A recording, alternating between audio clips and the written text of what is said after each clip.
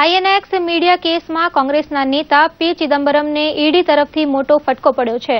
Supreme court INX media કેસમાં પી ચિદમ્બરમના જામીન નામંજૂર કર્યા હતા. જસ્ટિસ ભાનુમતી અને જસ્ટિસ બોપન્નાની ખંડપીઠે ચિદમ્બરમની આગોતરા જામીનની અરજી નકારી કાઢી હતી. આગોતરા જામીન અરજી નકારવાથી હવે ઈડી ચિદમ્બરમની ધરપકડ કરી શકશે. ચિદમ્બરમે સુપ્રીમ કોર્ટમાંથી સીબીઆઈ રિમાન્ડ વિરુદ્ધ કરેલી અરજી પરત લઈ લીધી છે.